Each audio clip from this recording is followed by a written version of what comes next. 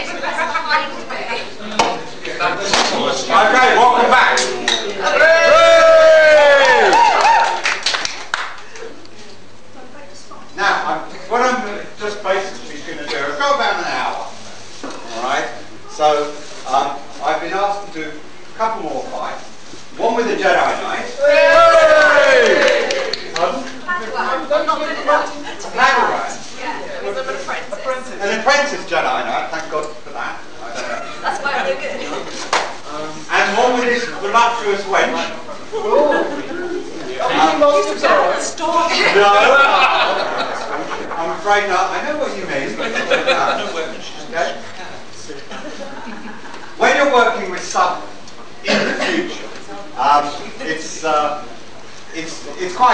Because you make up your own rules, obviously.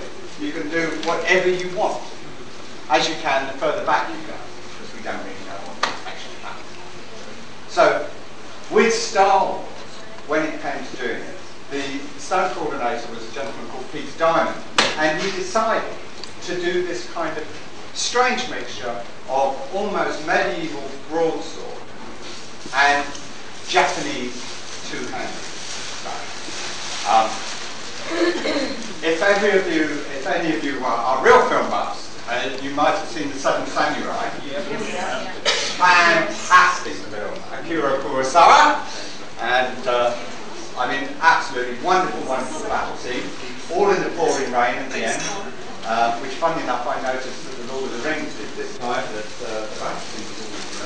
Wonderful, atmospheric stuff. But what Peter Diamond did is he took basic Japanese, a style of basic Japanese fencing, and used it for the Jedi Knights. It kind of gave this honour to them, if you like, and again made for a nice little setup. Funny enough, you've had people working with guns all the way through the movie, rockets and everything, but when it comes down to it, it's two people with the force using these things. So we can actually transpose um, and use a bokken to start kind of working on a little fight, if you like. The way of moving. Don't worry, you'll be around. the way of moving. Um, you don't have to worry about drawing this thing at all. Because it only consists of that angle. And then you press a button and you go, which always astonishes me. Um, so there is no drawing movements in it. If, if it was purely based on Japanese, you'd probably get this kind of drawing kind of movement. But if you look at the film, there's quite a lot of stuff like this, which is very, very Japanese, um, and shows extreme confidence, and shows how good a swordsman he is. There's a wonderful point in The Seven Samurai where the guy that plays the, the best swordsman in the war is having a duel at the beginning. And when they made the Magnificent Seven, they made it into a gunfight against a knife with Lee Marvin, I think, if I remember correctly. And the thing that made it absolutely so fantastic is that this is your basic on-guard stance there if you're using a katana or Japanese sword. And what the guy did is he came on guard like that. And then he went like that. Which is suicidal. because the other guy's going to come at you and basically he's going to cleave you down the centre. And he is back like that. But the thing about it was his timing was so fantastic.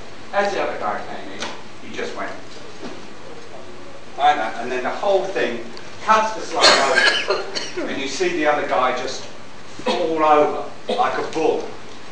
Legs go, it's like a big animal that goes over. Like his legs kind of just disappear. A willing volunteer. So take out the word willing. And my one is longer than yours. Hopefully I won't knock all the lights out. So, have you got a routine? No. Have you ever done any fighting? Uh, about 10 years ago, does he have to? Oh right, you did some fighting, you know? It's Ten very different to modern. fighting. That's. Now, what we were talking about earlier about having actually reacting to a blow. Whereas if someone comes in and does that, and you actually go away from it. In Jedi fighting, there is no such thing. They are so strong, you get a lot of kind of stuff around like this, Yeah. and basically things that come out. Oh, I've seen too much. I'll run away. Uh, That's my new trick. and a lot of it comes from back here and basically just goes out to there. Right?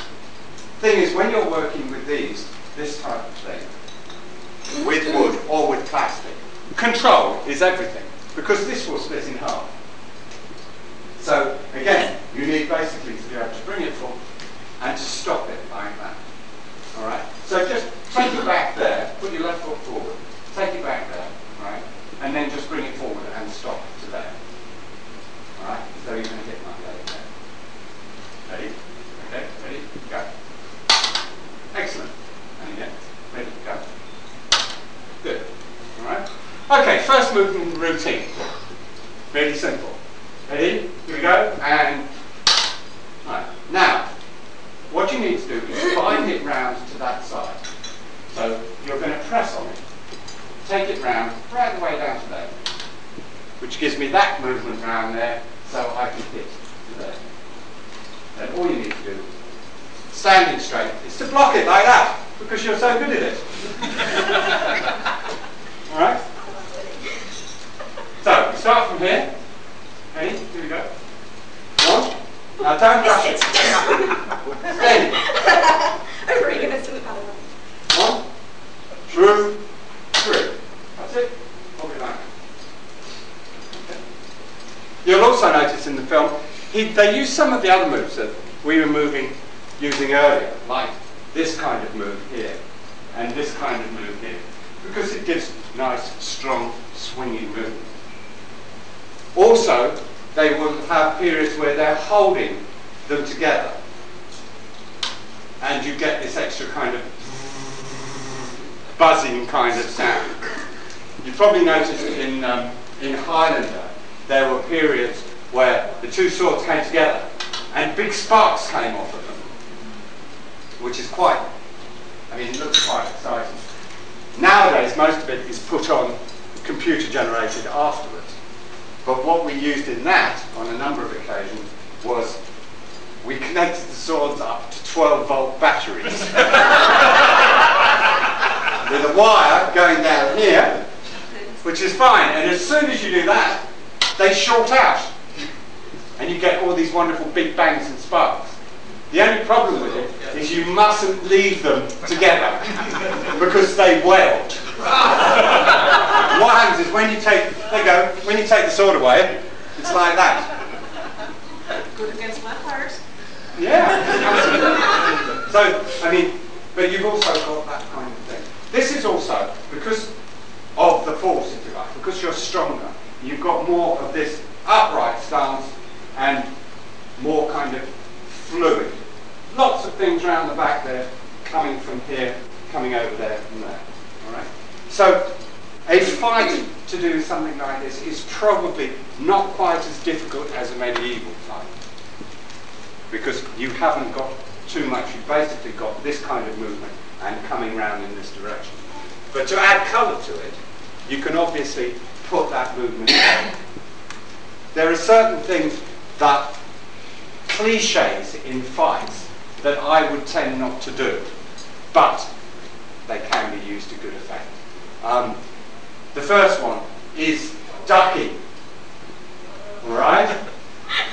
Therefore, I would come back here and swing like that, and you would duck and spring up and hit me. All right? But you have to get the timing right, and it's very, obviously, very important. I'm watching, I'm looking in her eyes, and I'm making sure you know what the time is. So what's going to happen is I'm going to come back here, bring it right back there, and then I'm going to bring it really quickly through there. And you're going to dump. What always looks absolutely awful is if I do it because I'm scared, you're not going you're not going to dump. I do it up there. So I have got to aim for her head. I got this wrong. Roman copy the young lady had a big, big ear. All right? So what's going to happen? The time is going to be like this. Ready? One, two. Okay? Ready? Here we go. One, two. A bit later. Ready? No? you go down. Really go down. Don't, don't do this. Ready? One, two. Good. Excellent.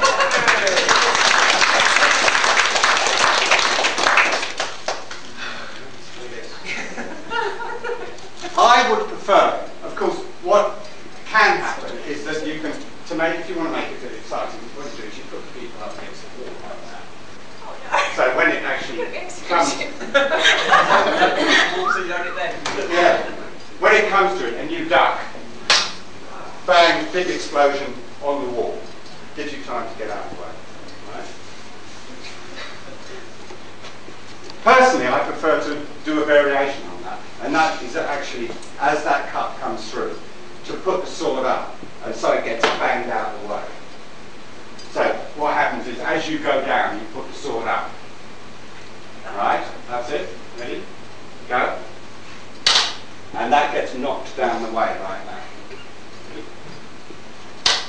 Good. That gives it a bit more feeling rather than just the duck. The other kind of cliche.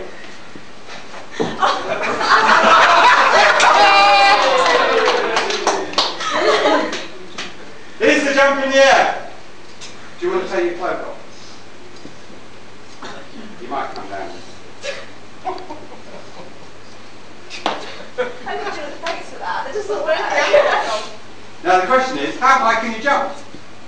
Yeah, I've tried. Do you want to try and jump over that?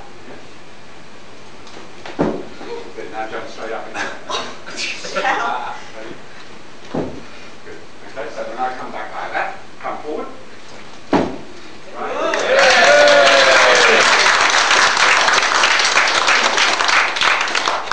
Even higher. what will actually assist you slightly is that instead of doing a dead jump like that, as I'm going backwards, go down like that. And then come up, bring your feet up. Ready? Here we go.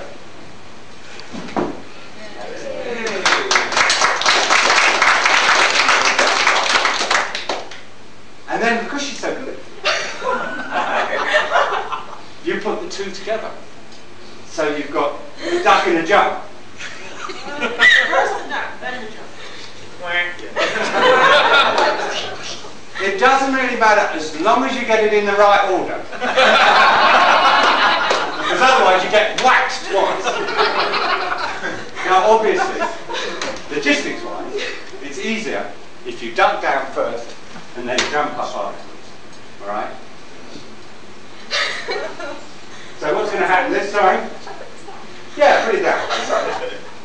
Hypnotize it. Absolutely. You looked. What's going to happen this time is I'm going to come around like that, you're going to duck, and then you're going to jump. Yeah! And this is when it's so important that the two of you are really working together. Okay? One of the things that I haven't talked about is something I call CC, which is camera crazy. You rehearse with someone for a couple of weeks, they're absolutely fine, absolutely wonderful. You do the run through fight, absolutely great.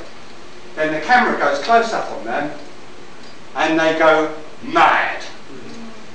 And they go camera crazy. And you are suddenly, the whole routine's gone in the air. But they're looking to make themselves good in front of camera and they're coming at you and doing whatever. And there's a few actors that actually do that, who will be nameless. so, ready? One, two. Bit more steam. Ready?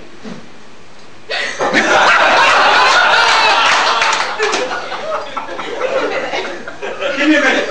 Hold everything. Oh, mommy's asleep. And here we go. Back. Good.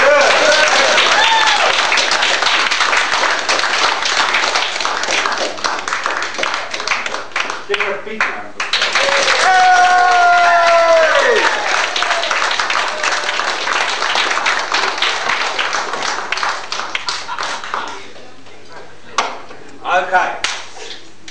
nervous. Uh, sit down, wait.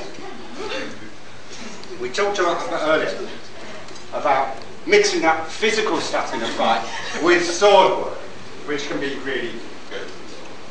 And also, you can just do it purely physical, otherwise, um, otherwise known as unarmed combat. You don't need weapons at all. Um, you've got this young lady here, looks absolutely gorgeous, dressed as 18th century wench. Absolutely. Normal thing. Um, uh, does anybody has anybody seen um, the uh, Richard Lester Three Musketeers? Yeah. Lots of wenches in that, having great fun, picking up people and slamming them down. There are traditionally kind of two types of fight, as far as fist fights are concerned. Um, Liz, would you do your wonderful bit on the Yeah. on the thing now? Which I'm just going to show you two different types of fist fight.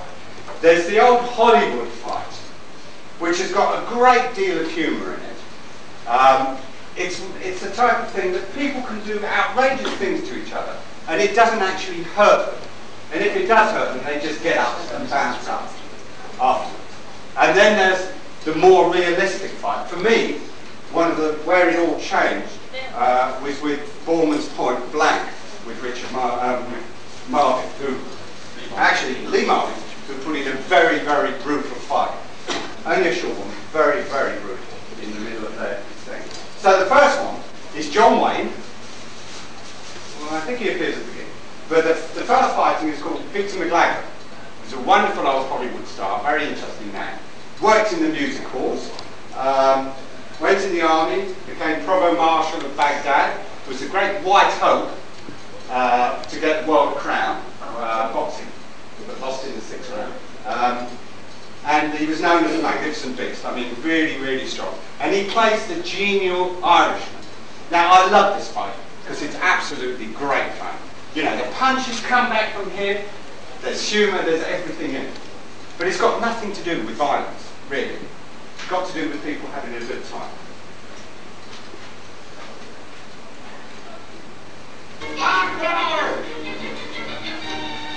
Sergeant Quinn Quincannon is improperly dressed on duty. He's under the influence. Find in the guardhouse. Along, sir? Really? Oh, we'll get you some help. Wagner, give him a far ahead.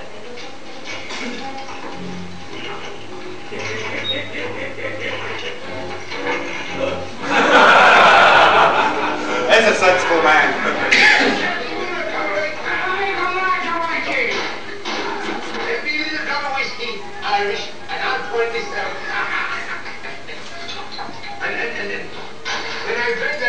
Just me. Hunt, I want you to help me arrest cannon. I'd love to throw that big ring in the cooler.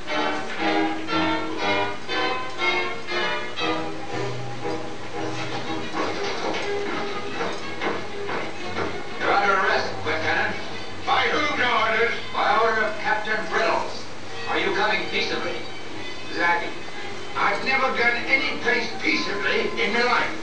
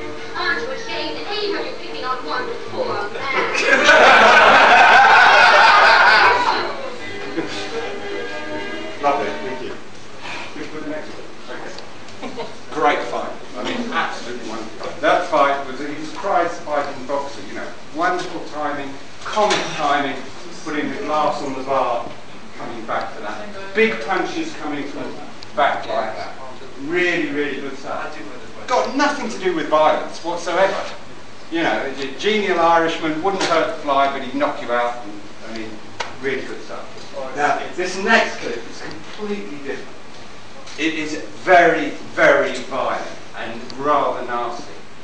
All takes place in uh, a nightclub, lots of loud music going on. Looks a bit dated now, but if you just look at some of the moves, there's one particular move where he punches someone straight in the groin, which is a very, and they happen to be lying on the floor.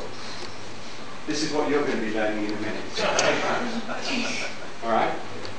But it is, this is pure violence as far as I'm concerned.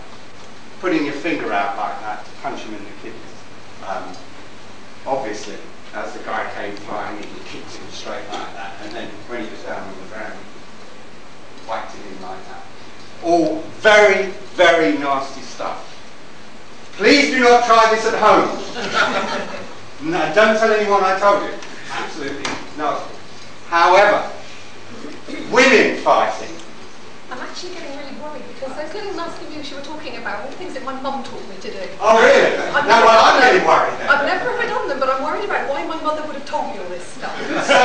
you know, the knuckle Self-defense thing stuff. and. Uh, Um, women fight differently to men. Totally differently. They do not fight fair, ever. They do different things. This isn't stereotyping, it's just somehow the way women are. They like to get close in and personal as soon as possible. So you will get scratching, you'll get slapping of faces, you'll get pulling of hair, you'll get wrestling to the ground. costume provided, you know. As long as the. Um, if a woman actually does a full-on punch at a man, what you will get is a big laugh. Always. I guarantee it.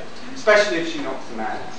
So if she comes out, bang, one of those, um, you will get a laugh. And one thing, that's fine if you want to laugh. But one thing, especially in the theatre, which is like the worst moment of your life, is when you're doing a serious fight and people laugh at you. Because the whole of the play has gone down the tubes. Right? Something like that second fight in point blank is very, very difficult to choreograph. Basically, all fights are like dances and you choreograph it.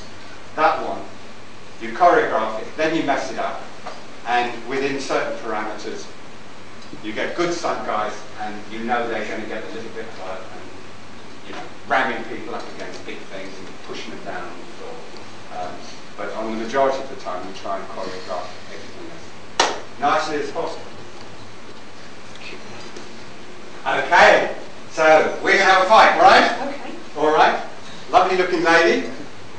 First thing I check is her fingernails and no big rings. because what's this for? Time out. Tying you up. okay. So, certain techniques you can use without it being too funny if you were going to fight another woman. So I'm going to pretend to be another woman. Uh, hair pulling. All right. Put your hand on top of my head like that. Okay? And if be really go on, grab a handful of hair, alright? And then shake my head about. And backwards and forwards. Right. Now what that will do is pull lumps out of my head basically and it will hurt. so what you do is if possible, you grab my hair, alright? I grab your wrist because I don't want you to do it. And it's actually me doing all the work. Alright? So I can push it this way, put it that way, put it backwards and forwards, and all you're doing is relaxing and going with it. And because I know that if I push in that direction, I'm going to move my head in that direction. And if I'm going backwards, I'm going like that. That I'm actually not going to get hurt. And what it is it's down to your acting to be really horrible with it. Alright? So you can just grab my hair, right? I go up like that, and then we do this. oh! Okay.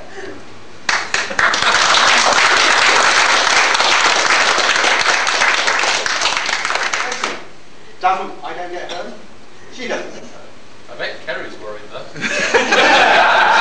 I'm going to teach her a few things in a moment.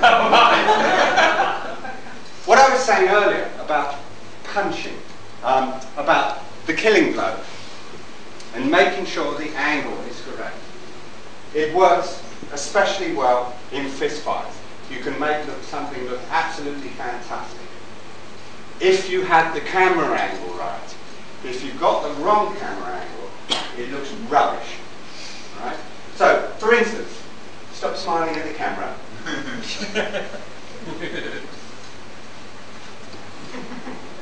if the camera was here and I was going to punch it, sorry, if you're the audience here, and I wanted to punch you in the face, okay, and I was going to do a nice big hay swinger back like this, and put it out in that direction, it would be absolutely useless because you would see that I miss every eye.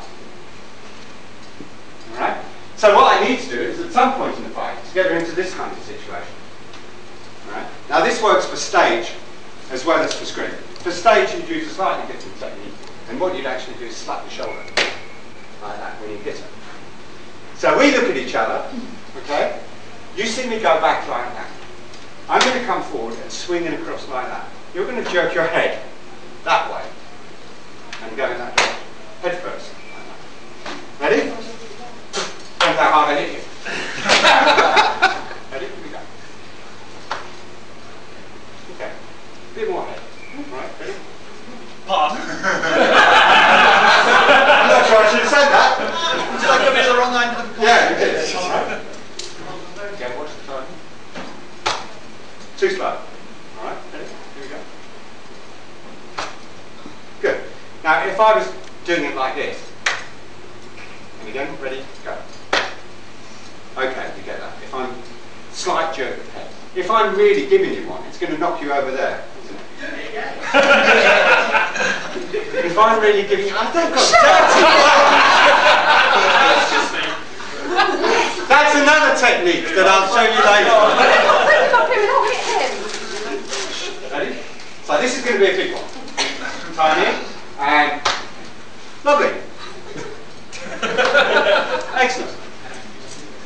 I can do the same thing with a straight on punch. This time you would move your head backward like that. Right? Now this really only works from a fairly narrow camera angle like that.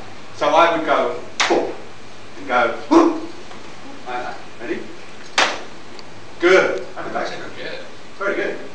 Ready? Here we go. And good. And if you want to take it into a comedy thing, the camera's still behind, you hit her three or four times. And you trot it backwards. Ready? Here we go. One.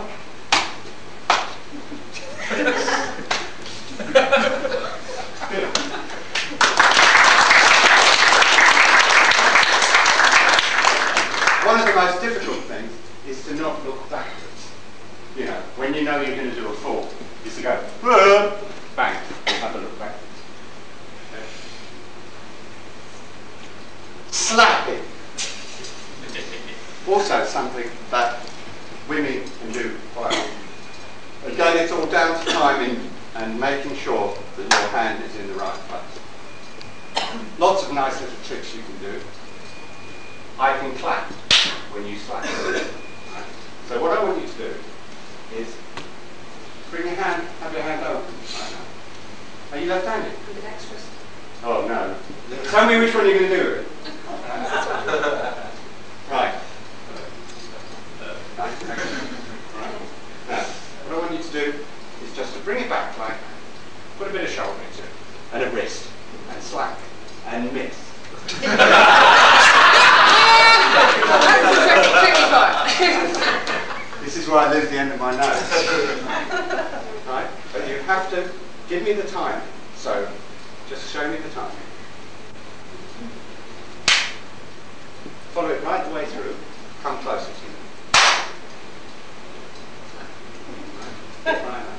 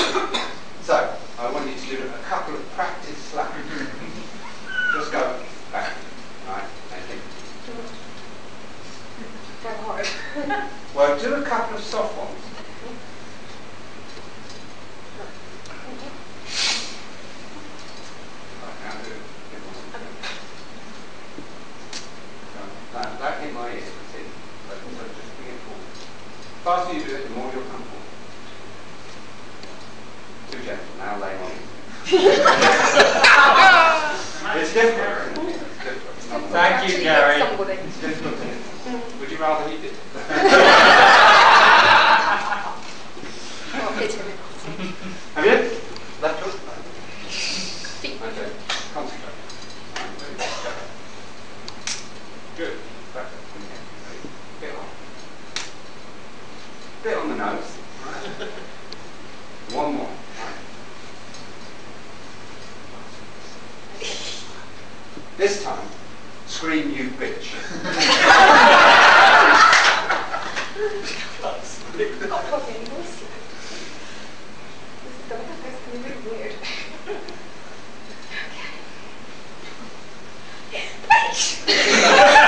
and you missed! Bloody voice is gone. One more. Alright, lay it on there. Just go on, just do that. Oh! Excellent. Well done.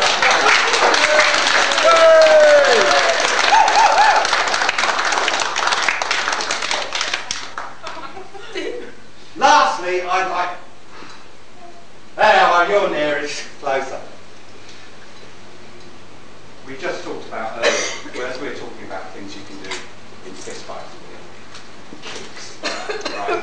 Kicks can be dangerous. What you would normally do is that you would make sure that you're well padded up and nothing's going to happen to you. You're absolutely right, because that is the first one. Kicks to the groin. Alright? All things that you can use in a fight, we isolate every particular movement to put them into the fight. So we're roughing, tumbling, we're having this fight, and I'm going to kick you in the groin. So the first thing you need to do is stand with your feet like that. Okay? And I need to know how low your crotch is here. Are your trousers pulled up? They are now. Good. and basically what the technique is that I will get my distance and I will kick him on the inside of the thigh there, which will give a nice sound. and that exactly will be your reaction. Right? So again, once again, all the energy is actually coming backwards. So I can be really brutal and go, "Ah!" Oh, sorry. Bit low. What you don't want to do is kick someone on the neck. No good. Because I wasn't watching where I was going to kick. Ready? Alright? So it goes exactly the same as if I want to kick you in the stomach. There, you'll get a noise from doing that. Again, you will double over. Like that. Lastly, I've got you down on the floor. Now I'm going to do this one, you get up. Right? now I'll demonstrate on you. You You had a pasting. but you're not dead yet. Could you crawl over that way a bit? That's true. You get up on your knees, facing me, right? With your face down on the floor. How far? Just down to the floor. And you are going to be watching what I do. And what basically I'm going to do is kick him in the face. Not really. See, it's so nice earlier. Again, it's all down to time. So, I will have it stepped out, and as I come in, but not before, you move your head up, and you just put your hands like that. Right? Downwards like that. But off the floor. Okay? So just twist yourself around a little more. That one. Okay. So slowly. As I come in, you get up, you move your hands up off your elbow, and I will kick you there. And what will happen is that if the shudder will go through your body, so you won't actually have to do any acting. what will happen is they will see the shadow in your body and you will fall backwards.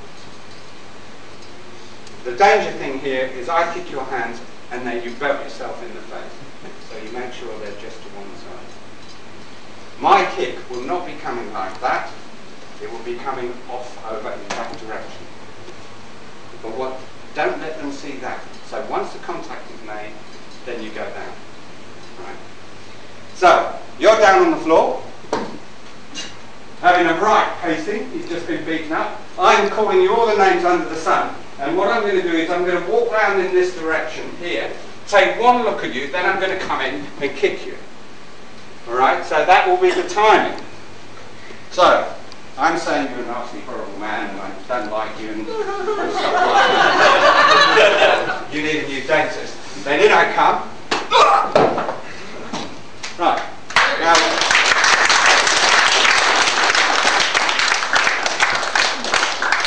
with a kick that violent, you can have a bit more of a reaction, so it should send you sailing back a bit more. Right, here we go. You ready? If you're not ready, tell me. Ready? Right, so you don't have to pretend that you're asleep. So you'd be down here, split, spitting blood out, right? Keeping an eye on me. Ready? Here we go. So I'm going to come in, I'm going to come over this side, I'm going to turn around. You're up too soon now. Right. All right? It's got to be something that the audience doesn't realise what the hell's going to happen. You're coming round here, you're looking at me, you're watching me. I'm going to take a look, I'm going to call you all the nuns, son, and then I'm going to come in and kick you. That wasn't good. We'll do it one more time. Ready? Don't hold your hands in front of your face. Turn a little more this way. That's it, enjoy it. It's lovely having all these guinea pigs. right, concentrate, here I come. Right, you bastard.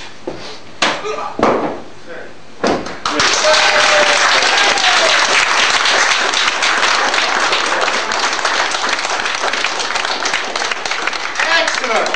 Wonderful. Very good.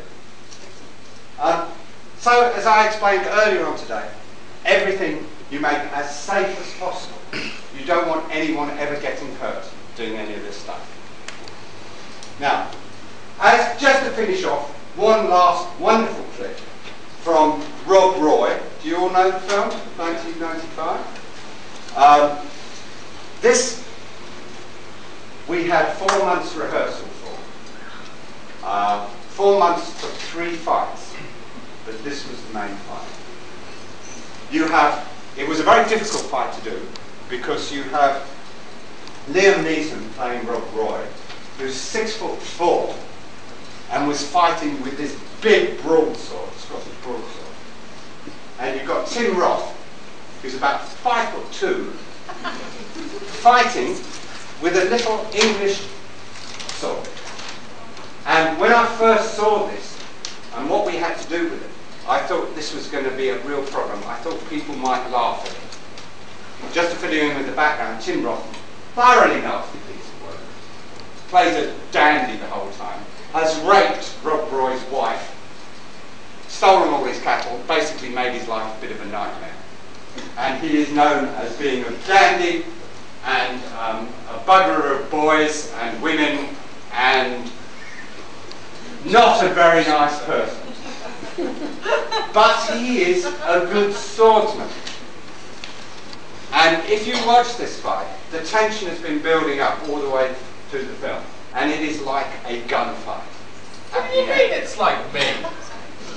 You just said just like me. I don't bugger boys. All right. is it all right for me to be facing in this direction? and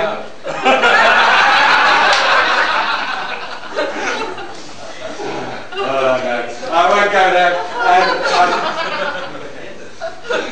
so uh, we used when we did this. Um, Tim Roth had a really bad time getting hold of it. He, he doesn't mind me saying this, but he really did have a bad time. Um, but what was happening is that I was uh, William Hobbs arranged it. We had three fights to do, and I had to learn all the fights, and I had to learn all the fights from both sides in sections. And whenever we got one of the actors into rehearsal, he would come in and say to me, right, third fight, second section, left-hand side. And I would have to have it absolutely right in my mind, which is probably one of the most difficult jobs you can do, because you can't confuse an actor when he's coming in. You've got to get it absolutely right. We employed two stunt doubles. The stunt double for Liam Neeson we got from Hungary, who didn't say a word of English, didn't understand anything except for sure. so you talk to him and talk to him, and he would go, for sure. and you had no idea whether you did. But very, very nice guy. He, uh, he worked very hard. Uh, and an English signed guy for doing Um, watch for, you know, a fight is a fight. What makes a fight is the dramatic moments in the fight. Have courage to put spaces in so you can see the emotions of the people fighting. That's why I think we had uh, Michael Caton Jones, the director, had five cameras on this the whole time. Every take, five cameras. We had proper rehearsal, and that's what makes it a good fight. So, have a look and enjoy.